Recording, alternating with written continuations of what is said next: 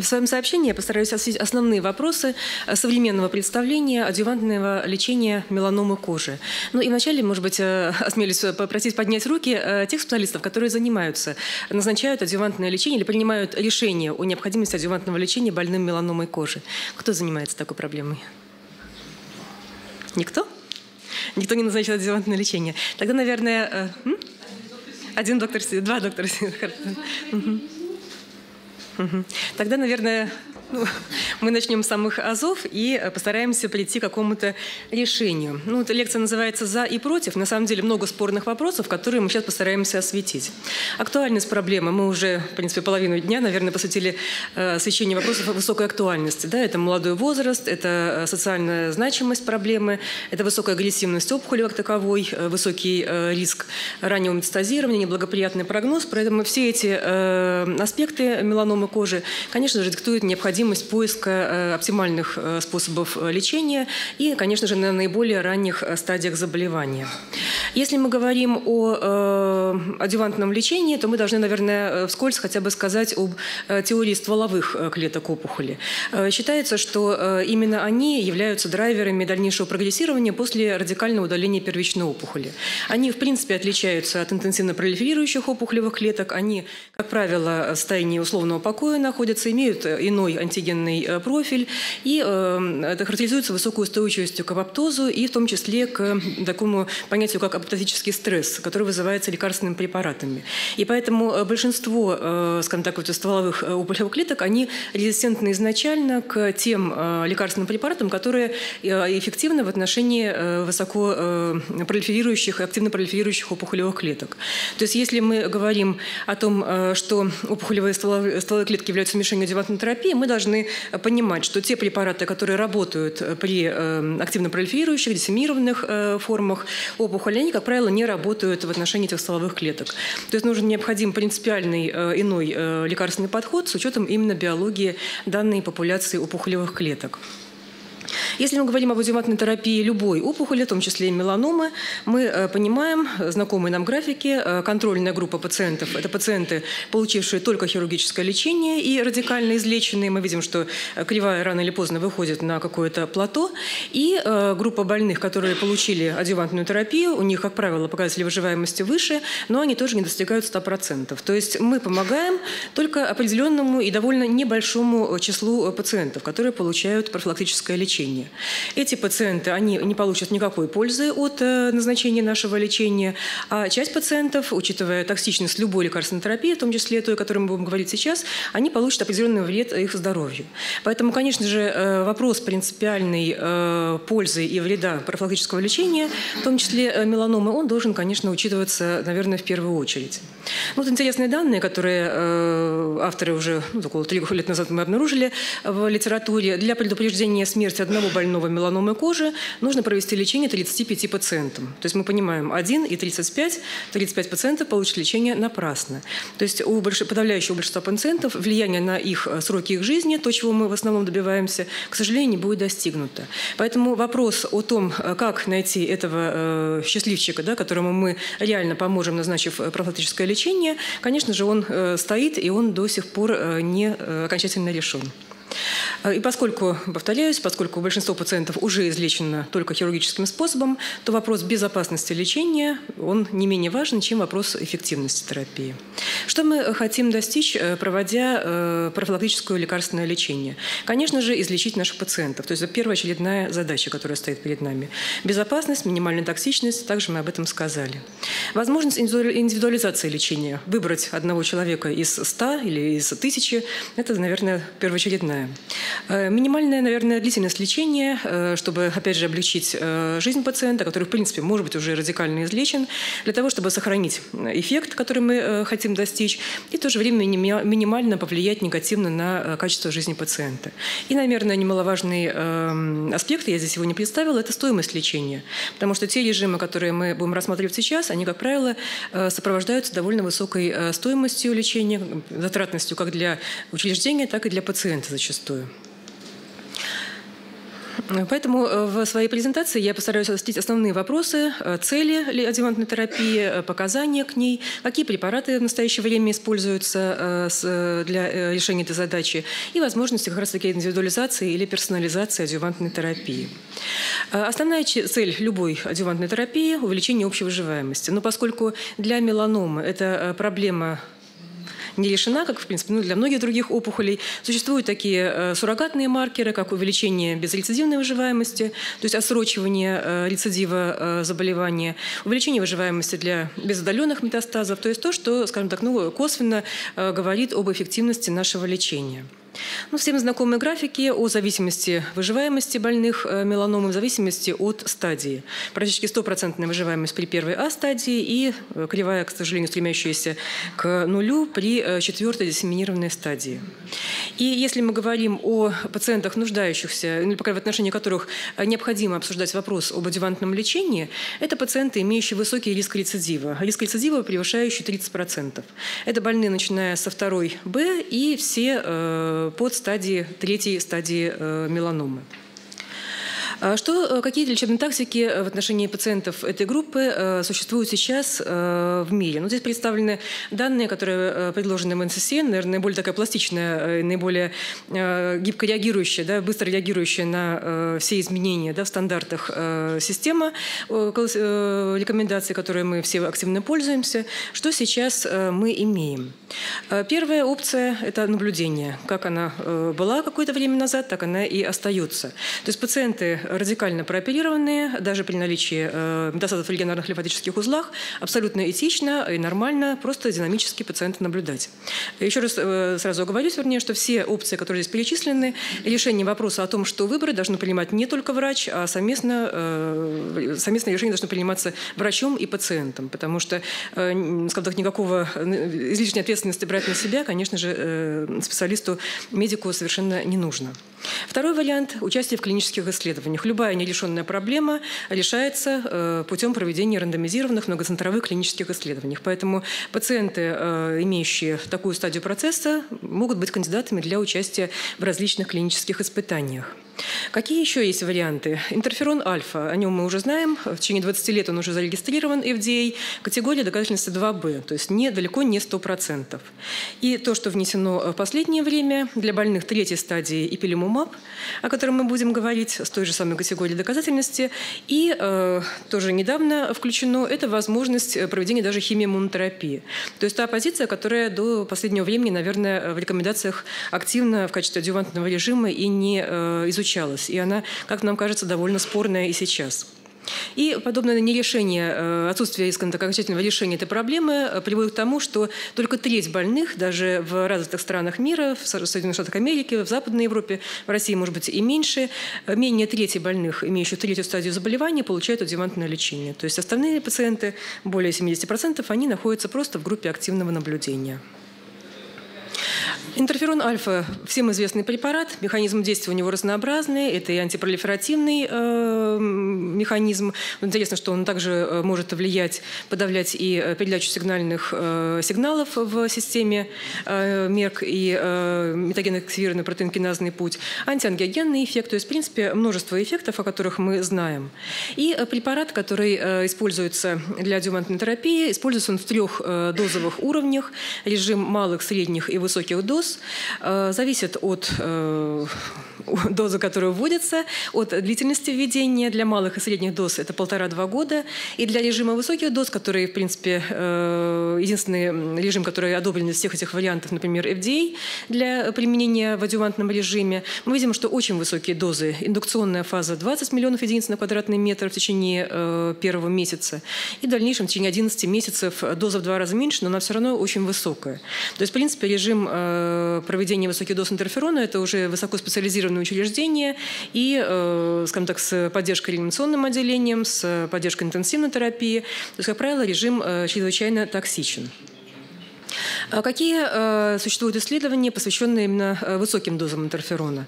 Основное исследование, э, на основании которого зарегистрировали препарат уже 20 лет назад, 96 год, это исследование Кирквуда, ЭКОК э, 1684, в котором доказано однозначно влияние на безрецидивную выживаемость. Больные, получавшие высокие дозы интерферона, длительное, более длительное время жили без признаков рецидива заболевания, но влияние на общую выживаемость, то, чего мы в основном добиваемся, э, ну, скажем так, Э, довольно спорным было.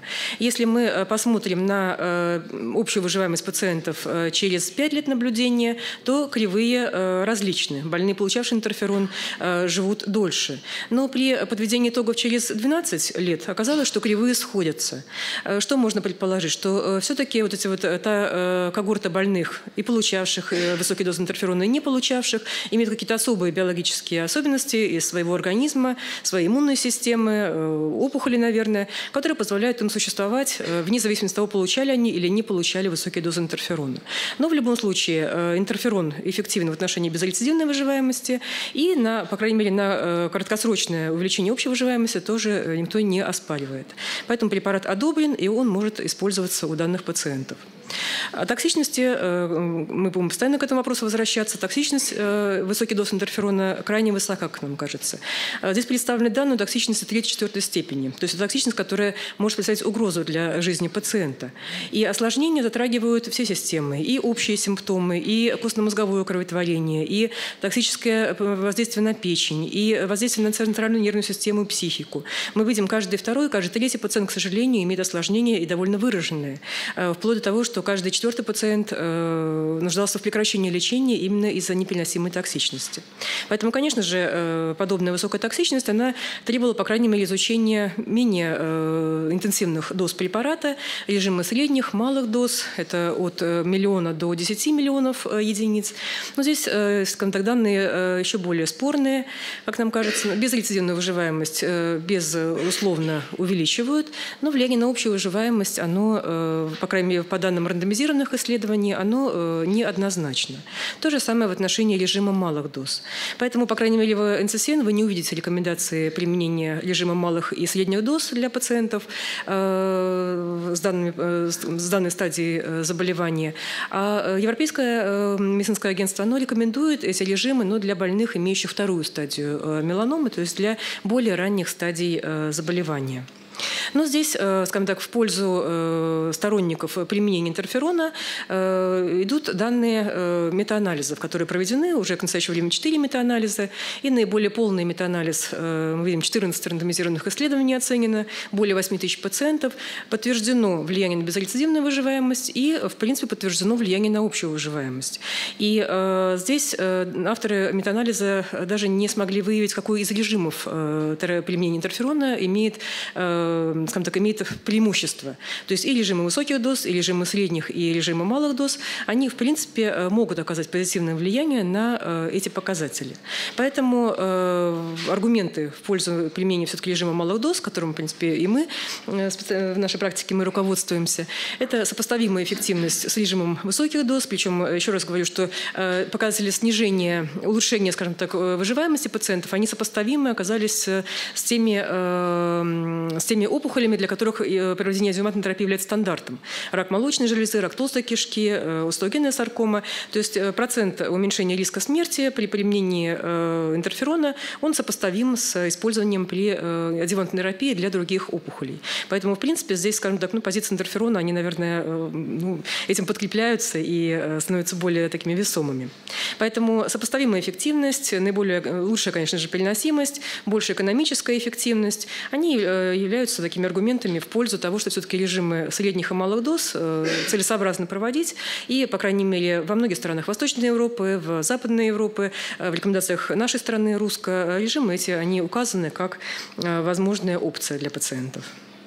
Второй препарат, вторая форма лекарственного интерферона – это пегилированный интерферон, особым образом модифицированный э, интерферон, соединенный с молекулой полиэтиленгликоля.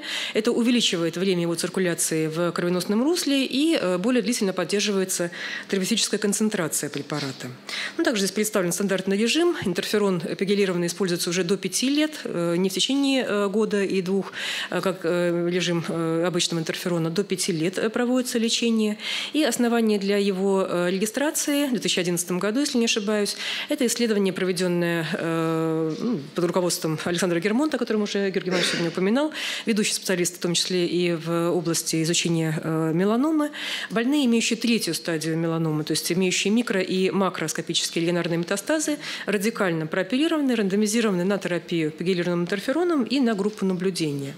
Ну, также спорные э, данные в отношении влияния на общую выживаемость, но э, подтверждено влияние э, пегилированного интерферона интерферона на безрецидивную выживаемость, и особенно у больных, имеющих э, ульцерацию опухоли, и у больных, имеющих э, именно микрометастазы. Не пальпируемые лимфоузлы увеличенные, регионарные, а именно микрометастазы. То здесь как раз-таки это, наверное, вопрос о возможности персонализации лечения адювантного, он тоже выступает. То есть пациенты, имеющие данные э, характеристики опухоли, наверное, в большей степени подлежат э, терапии пегилированным интерфероном.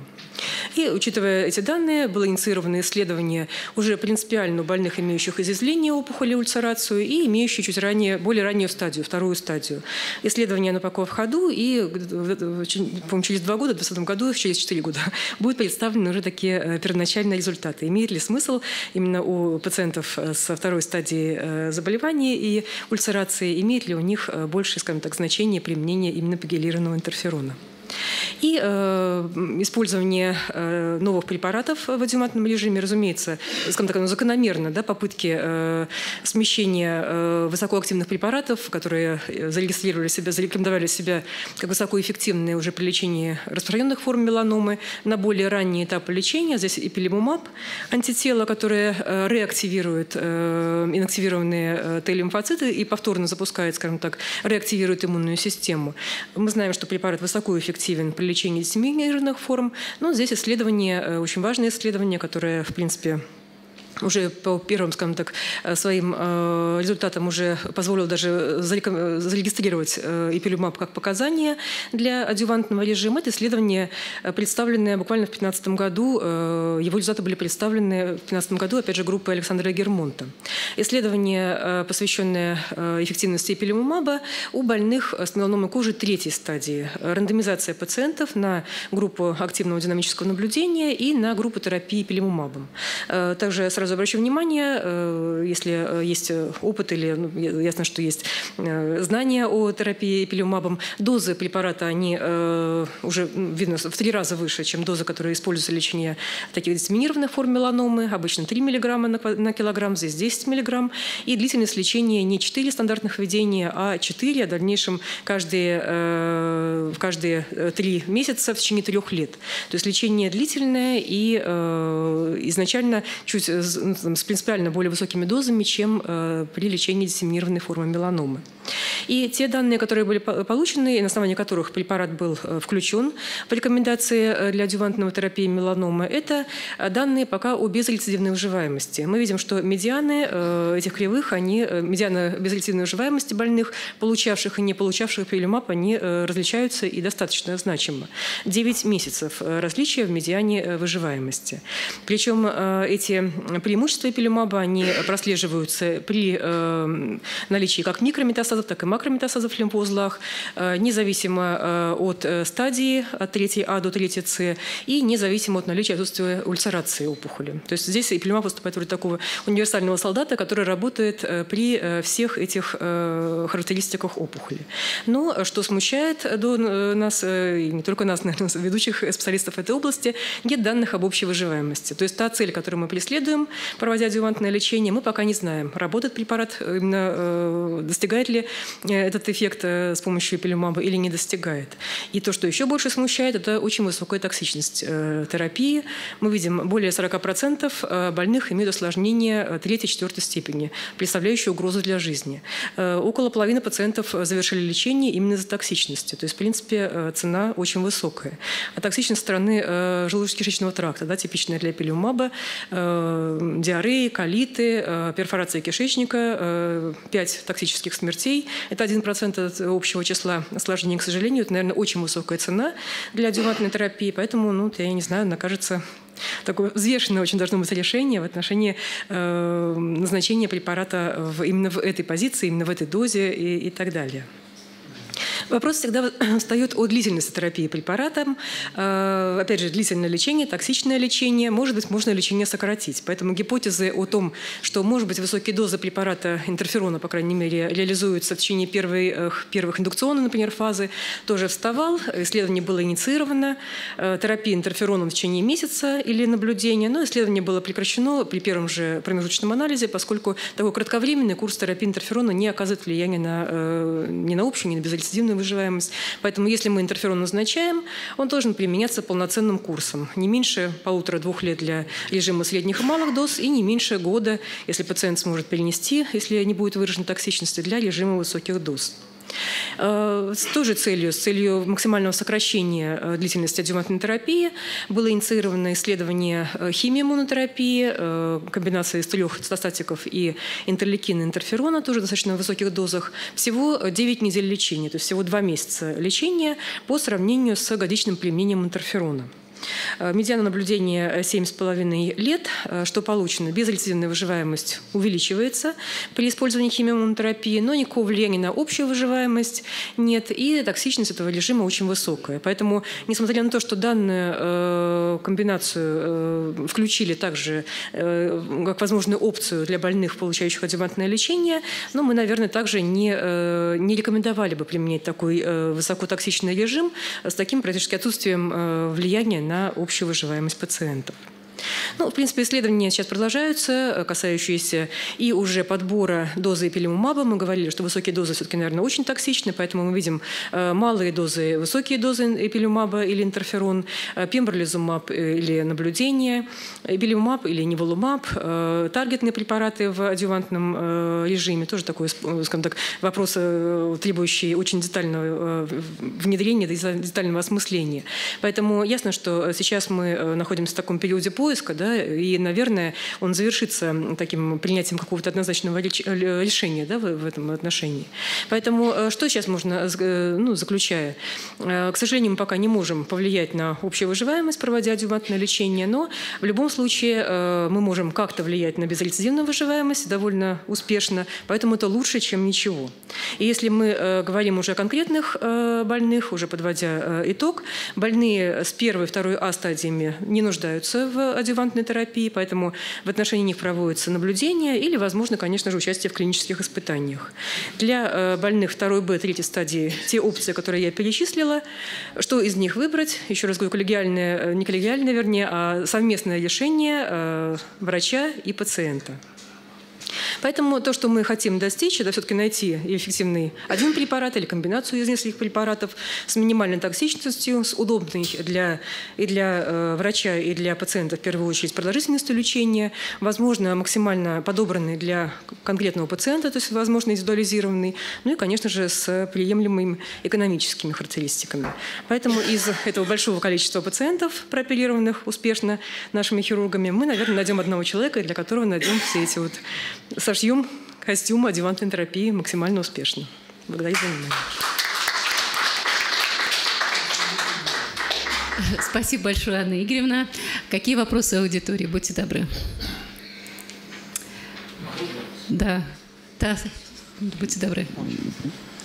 Анна Игоревна, спасибо за доклад. Вот заинтересовал следующий факт. Вот, какой вы акцент поставили стволовым опухолевым клеткам. Вот скажите, пожалуйста, Изучались ли эти клетки э, на, на, на меланоме непосредственно? Какие есть исследования? И ваше впечатление о роли этих клеток, ну, стволовых опухолевых клеток вообще как бы в перспективе? развития. Ну, да, я поэтому о них и упомянула, по крайней мере, потому что это одно из направлений, которое требует э, дальнейшего изучения. Ясно, что исследования ведутся. И, скорее всего, эти препараты, которые э, сейчас э, какую-то активность проявляют, в основном они больше иммунологической направленности, интерфероны, и пилюмап, и, наверное, препараты вот этой группы, они будут действовать именно на биологию именно этих стволовых клеток. Я думаю, что не на те клетки, которые активно пролиферируют и дают, скажем так, первое проявление заболевания. Нет, но вы, то есть вы считаете, что как раз именно таргетная терапия будет влиять на стволовые опухолевые клетки, вот те препараты, которые уже созданы? Или таргетная терапия, или иммуноонкологические препараты, потому что то пока еще... думаете, что это да. больше э, препараты иммунного ряда, да, то есть? Ну, по моему ощущению, наверное, Нет, просто, равно, да. да, просто как бы вот э, в статьях как раз говорится там по поводу изучения стволовых опухолевых клеток у больных раком молочной железы, кишки. Вот, а по меланоме я не встречал. Вот просто мне э, почему заинтересовало это, что может быть, есть вот какие-то э, исследования, которые идут уже, да, по изучению стволовых именно в меланоме. Ну, и какие-то медианы, которые именно для этих клеток важны, на, на, на, ну, на прогноз этих пациентов влияют. Ну, фундаментальные исследования, безусловно, ведутся. Да? Сейчас я не смогу привести вам такие клинические уже да, вот аспекты. Но мне кажется, что это направление, оно все равно будет э, поддерживаться. Вот именно это. То есть реализация, э, запуск э, противоопухолевого иммунного ответа именно в отношении вот этих вот стволовых, ну, условно стволовых, не знаю, как они будут называться через какое-то время, может быть, не, не так, а иначе, но, по крайней мере, те клетки, которые являются драйверами дальнейшего прогрессирования. Спасибо. Да, будьте добры. Спасибо большое за доклад. Э, у меня вопрос практический. Э, ваше мнение хотелось бы услышать. Есть ли принципиальная разница между интерфероном 2-альфа э, и 2-бета? Ну, по стандартам рекомендуется назначение интерферона 2 альфа. Я да? знаю стандарты. Да, Вопрос я говорю практически, потому что он связан, как вы уже упомянули, с стоимостью лечения. И в связи с закупкой препарата по системе ОМС – к сожалению, приходится э, зачастую при этом длительном лечении препараты эти менять. Причем иногда неоднократно. В зависимости от того, что закуплено. Так вот, э, ваше личное... Понятно, что таких работ нет и быть не может, а ваше личное мнение, это э, как-то может сказаться в отрицательную сторону? Ну, у нас так не создалось впечатление, да, Светлана Анатольевна, о различии да, вот, в эффективности препаратов. То есть принципиальной разницы э, нет, да? Думаю, что нет. Спасибо. Так, какие вопросы еще будут? И я бы хотела, чтобы еще, Анна Игоревна, вы еще раз подчеркнули по поводу химиотерапии в адювантном режиме. Все-таки на местах иногда проводят адювантную химиотерапию, угу. что докарбазин ну, здесь, наверное, то исследование рандомизированное, хотя оно и по его результатам его внесли с определенной оговоркой, да, возможные опции, но мне кажется, оно говорит само за себя. Оно не влияет никак на общую выживаемость пациентов. Оно высоко токсично, 75% токсичности 3-4 степени. То есть токсичность, опять же, угрожающая жизни пациента. Мы проводим лечение, не влияем на сроки жизни пациента и вызываем осложнения, которые могут привести к смерти пациента. Поэтому я думаю, что вопрос о проведении такого токсичного химиотерапевтического режима в адювантном э, периоде, когда пациент может быть уже радикально излечен хирургически, я думаю, что он ну, должен быть, наверное, не обсуждаться как-то он слишком жесток для того, чтобы его рассматривать так вот в нашей рутинной практике. Ну, это, по-моему, уже усвоено да. всеми. Хотя это все-таки да, текарбазин все-таки да. назначают иногда адюванта. Так вот, бесполезно совершенно. Хотя, наверное, очень много вопросов стоит парамедицинских.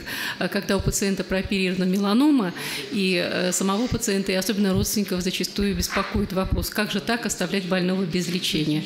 Но тут уже, наверное, искусство врача уже как и э, хорошего, наверное, дипломата, э, разговора с пациентами и доказательство того, что в некоторых ситуациях не надо ничего назначить, уж тем более химиотерапию.